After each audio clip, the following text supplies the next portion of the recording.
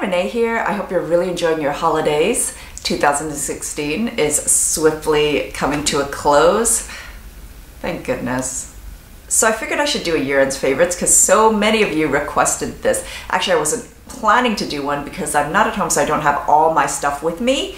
But if that's what you want, then I'm gonna do it because that's all that's important. So many products were reviewed this year, so many great products actually. And the focus was definitely on Asian skincare. I'm equal opportunity and non-discriminating when it comes to beauty.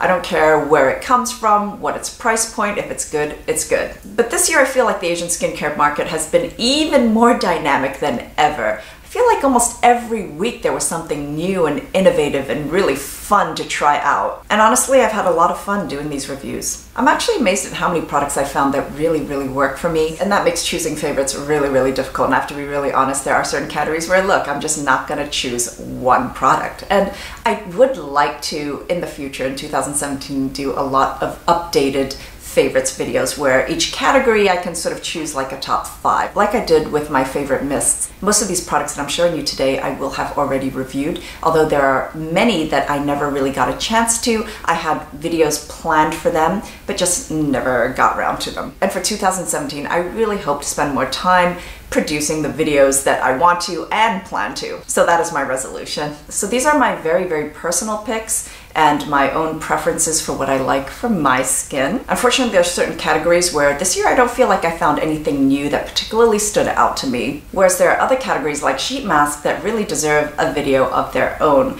I am gonna actually do that separately because otherwise, I mean, this is already gonna be a long video. So let's get started. So this was definitely by far the easiest no-brainer for me, which is Heimish's All Clean Balm for First Step Cleanser. As far as oil-based cleansers go, this is the year I feel like I fully transitioned to the Sherbet cleanser. These oil-based emulsifying cleansers, in my opinion, are like the perfect cleansing product and the gentlest on my skin, so it really is what I prefer. Plus the most effective at lifting off all the undesirable elements and leaving your skin soft and completely clean. This is a win I love the formula. I love the way it smells so natural and slightly medicinal. The second step foaming cleanser was definitely a lot more difficult to choose. I'd say the two foaming cleansers that eke out ahead you are going to be seeing featured in my upcoming winter skincare routine. Yes, that is coming, so stay tuned. One of them is a Sulwhasoo Snowise Cleansing Foam. It's just purely luxurious and it's hard to say no to luxury. So this has a wonderfully low pH of 5 and it just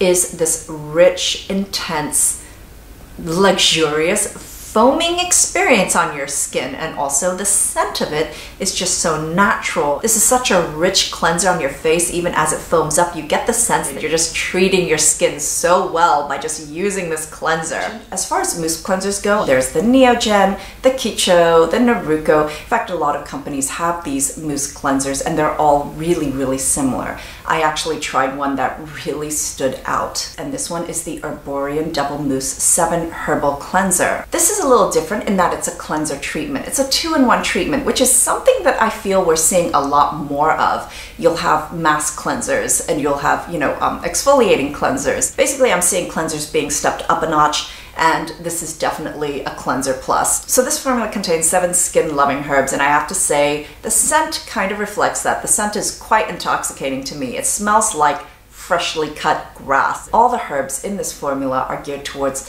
being anti-inflammatory, antioxidant, healing and soothing and calming and brightening your skin. It not just deep cleanses your skin, but it also retexturizes it without any physical exfoliants. This happens through the willow bark extract in the formula, which is a natural occurring BHA. It's lipid soluble, so it's great for oily or congested skin, but it also gently removes the surface, the dead surface skin cells. So how you apply this is different from most foaming or second step cleansers, which is you take two pumps and you put it on your dry skin. So you apply it as you would any normal foaming cleanser and then you leave it on your skin for 30 seconds and then rinse it off. And then after rinsing, baby smooth softness. This is a fantastic cleanser, I believe for all skin types, but particularly for normal to oily skin. But even for me with dry skin, I love the way it makes my skin feel and really, really cleanses well. I do want to mention a favorite gel cleanser that I fell in love with this summer, and that is the COSRX Low pH Good Morning Gel Cleanser. COSRX products tend to seem very basic, but they're not.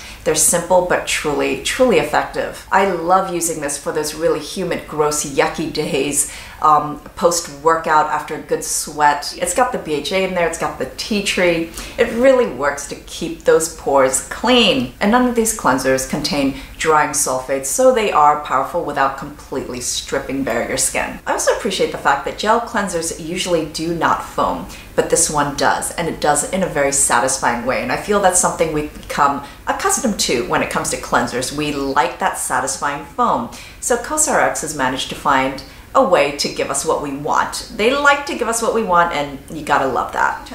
There are two toners this year that have pretty much become favorites for me. They're both featured in my last skincare routine, so this is not gonna come as a surprise, but it's the first one is the Whamisa Organic Flowers Toner. This I use all year round, but particularly I really need it now. This is just so deeply and richly hydrating, and my skin always needs that. This is also so nourishing. It uses all pure and natural fermented herbal ingredients, which are 97% um, organic. I feel every time I use this toner, it makes that instantaneous difference in terms of just making my skin really plump and voluminous with moisture. So the other toner that I fell in love with this year was also featured in my latest skincare routine, and that is the upgraded reformulated Klairs Supple Preparation Toner. Klairs is a brand that everything I've tried so far I've loved and I do hope to explore more of their products in 2017. They don't do animal testing, they don't use animal-based ingredients in their products. This reformulation is really an upgrade. They took a bunch of undesirable ingredients in their previous formula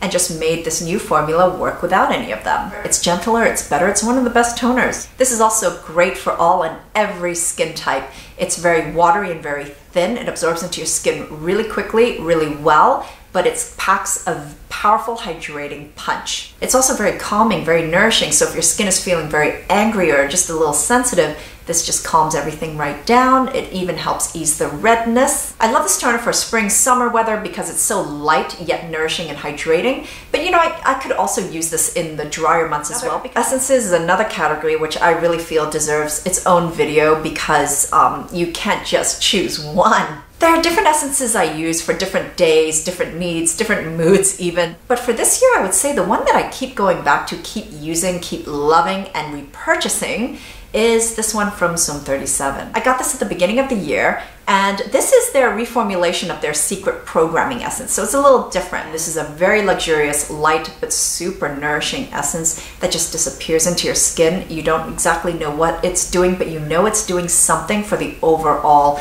benefit. This just gives that extra bit of life and plumpness to my skin. I know that when I use this, my skin just feels better, it just looks better. Again, this is great for all skin types. Nobody knows quite why they need an essence, but we're all addicted to having that extra step in our skincare routine. When it comes to ampoules and whether or not I feel I need that extra step in my routine between essence and serum, I would say if it's a honey ampoule or propolis ampoule, then absolutely yes. It's that extra humectant protective layer that's not just hydrating, but also soothing, antibacterial, calming, healing. But more than that, I realized that it provides this beautiful glossiness, this glossy finish to your skin when you use it. So I've tried quite a few honey ampoules this year. Let's just say it became a little bit of an obsession, but my ultimate favorite would have to be this teensy weensy little bottle here. It's LJH's Propolis Ampoule, and this bottle, why does it have to be so small, really? I mean, every time I use it, I feel like I have to be really sparing, but then I appreciate it so much. It's, it's very precious. This formula is absolutely gorgeous. It's the perfect layering product super lightweight, very thin. It actually stays on your skin and keeps the hydration in and leaves you with this beautiful skin sheen. This formula is 50% propolis extract, 10% of different vitamin derivatives, including panthenol, which is B5, niacinamide, B3, 10% sea buckthorn extract, which is highly soothing and healing on the skin. 26% of this is Centella asiatica, as well as witch hazel to keep the pores clean and to further soothe your skin. The remaining 4% is like sodium hyaluronate, rose flower water. This formula is spectacular and it really shows on your skin. Your skin does really improve after using this. This extra layer makes all the difference. This is great for all skin types. If you have sensitive skin, this will really soothe and calm your skin. If you have oily or acne prone skin, this is also great for treating that and will keep your skin really hydrated. And of course, if you have dry skin, this is the ultimate. This extra step will really add that glow back into your skin. So as far as day serums go, uh, which for me is always going to be about the antioxidants and the vitamin C namely, I've been loving Drunk Elephant C Firma. This is pretty much what I've been using the bulk of this year and really enjoying and repurchasing. I've tried a lot of vitamin C serums now and I have definitely planned to do a video on that. I know it's something that you want to see and it's something that I have a lot to say about because it's really a tricky, tricky ingredient. If I'm going to pay any amount of money at all, I do want it to work and not sting the hell out of my skin. So I've discovered a few acid treatments that I'm in love with this year. So I've taken a break this year from my regular acid toners. So now my acids, which come in the form of AHAs, I rarely use BHAs, but they will come in the form of evening, nighttime serum treatments rather than toners. But the AHA I got really excited about this year, and I've never used it before, is mandelic acid. I believe we're going to be hearing a lot more about this because it really is quite unique. So I was first introduced to this by the Taiwanese brands. Most of the large Taiwanese brands carry a, some form of mandelic acid treatment. Asian brands tend to favor gentler acids. I know in Korea it's a very highly regulated market, so um, definitely all the acids that you find are going to be less harsh. All that means is that they use AHAs that have larger molecules that take longer to penetrate the skin um, and are less irritating, but they're still effective. So Dr. Wu's Intensive Renewal Serum with mandelic acid was so hugely popular, I felt I had to try it out. So they have two. I have the 18%, but there's also a 6% mandelic acid, which is like a daily serum. It's for daily use. The 18% can be used like one to three times a week, but depending on your skin type, you can actually use it more often. Regardless, even at 18%, this is very, very gentle I mean, this is gentle enough to be used if you have rosacea and you want some exfoliation. So the most exceptional and unique thing about mandelic acid is that even though it's an AHA, which is liquid soluble, this is also oil soluble. That's a property that BHAs have, which make it great for oily and acne prone skin. So this is kind of you get it all. In fact, the oilier your skin, the more often you can use this. Upon regular use, every day you're gonna watch your skin just get a little brighter, more smoother, texture more refined, fine lines less visible, just more glow, and overall, just more porcelain-like. And without an ounce of irritation, this is like a silent little worker, and it's just really, I can't stress enough how important it is that an acid should be gentle. Well, at least for me, that's how I feel. You know, I just feel like it's not doing damage. Unexpectedly, I found a lotion slash emulsion that blew my mind. I always thought that, I mean, it's a necessary step in my skincare routine, particularly in the winter time. The whole layering thing makes a big difference, but I just never thought I could get excited by one. So in my October favorites, I talked about Erborian's ginseng lotion. I mean, the draw was definitely the ginseng aspect of it, but really it's one of those very, very rare products where upon first use, you're just like, wow, you feel the immediate, immediate difference. It's milky and thin, sinks into your skin really quickly, and leaves you with this velvety, soft face. All skin types can benefit from this formulation. Fabulous. The only gripe I have is that I just wish it smelled more herbal and ginsengy rather than fragranced. Yeah, I just like the smell of medicine in my skincare. What can I say? I'm weird. My favorite eye cream this year would have to be Belif's Peat Miracle. I featured it in my eye creams video as well as in my first haul this year. When I bought this in Seoul, this was Belif's number one selling product there, and I think it is fantastic, particularly for the price. It's the texture which is so luxurious and creamy. I feel like it's the kind of texture that only expensive eye creams have. But when you apply it, it's just so smooth and velvety. It makes your skin so soft. The fine lines just disappear. Um, everything is just really conditioned and hydrated. There's just like this perfect canvas for if you want to apply makeup, but it's just everything looks better. You also get a tremendous amount of product. You don't need to use a lot each time, so this will last a long time. Another eye cream I feel deserves mentioning is this one from Yuri Pibu. It's their Cuckoo Maronza eye cream, which is their Black Diamond Truffle eye cream. The formula fabulous. It uses 60% black diamond truffle extract, which contains enzymes that are powerful antioxidants, as well as moisturizing lipids that really help strengthen the skin's barrier. So this is a fabulous eye cream for really protecting the skin under your eyes. But more than that, again, this is another non-luxury priced product that has that luxury texture. It's similar to the Belif eye cream. It's just smooth, creamy, not heavy, doesn't weigh things down, applies and absorbs like a dream come true. These are for anyone who just wants a little more from their eye creams. This is a very refined texture, but really delivers. So if you are beginning to see fine lines appear and you're concerned about that, this is great for that. If you just want a little more moisturization, um, yeah, this is fantastic for anti-aging. As far as face creams go, um, there's one that really stood out to me this year. I tried so many this year and there are a lot that are very, very great. I could definitely do, easily do a top five but there's one that was just the most unique to me and did the most for my skin, and that is the Blithe Press Serum, the Tundra Chaga one. I started using this in the beginning of the year um, during the peak of winter and absolutely loved it. There are very few moisturizers that um, can do what this one does, or at least for me. This is really a very unique texture. It's kind of strange, it's weird, it's wonderful. Um, you know, it starts off as this tofu pudding-like texture, but it smooths out and applies so beautifully and it's actually less creamy and more hydrating. So it doesn't feel like a heavy occlusive cream.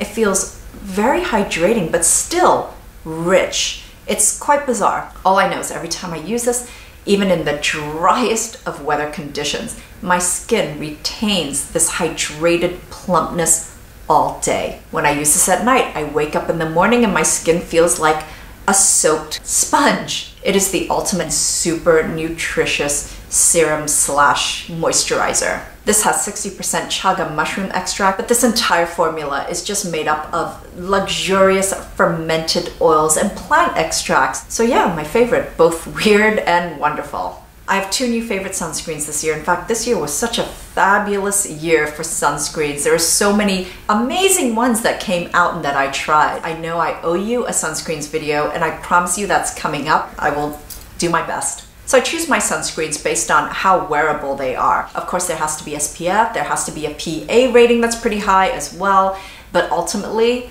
I have to be able to wear it. I'm always going to go for the sunscreens that are non-drying and don't leave a white cast. The first one I've been loving this year is the one from Kiecho, their Ultra Moisturizing Sunscreen. I've featured this a few times in my videos. It is a sunscreen that is very moisturizing and it has this added benefit of leaving the most beautiful skin finish on your face. This healthy, radiant skin finish. This leaves no white cast whatsoever and is just such a luxurious sunscreen formula. This has a wonderful mix of chemical and physical filters to give the most broad protection.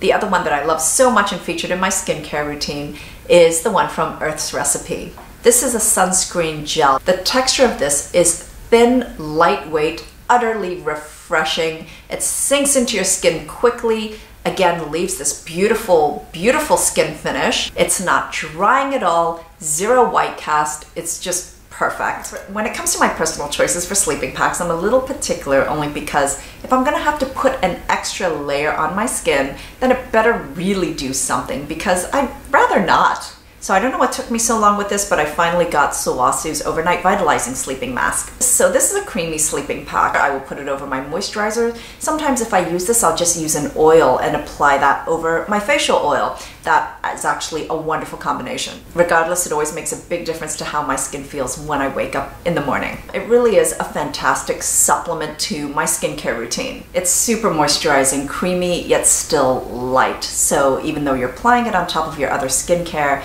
it's not invasive and greasy or anything like that. It does sink in and disappear into your skin quite quickly. And I love that I'm not waking up with this dull, tired, gray skin. Rather, I feel bright, plump, revitalized skin. I love the scent of this. It's got this ginger lemon sort of natural herbal smell. This has shea butter, ginseng extract, green tea extract, licorice root extract, just a bunch of stuff that I love. This is great, particularly if you feel that you've got this lifeless winter skin, um, if you're concerned with anti-aging, or you just want an extra boost of moisture. I recently reviewed my favorite rinse off mask this year, which is the I'm From Honey Mask. Just amazing. Please watch that. It's just, I can't even. It's such a great product. As far as sheet masks go, I'm going to do a separate best of. That needs to be its own video. It's just too much.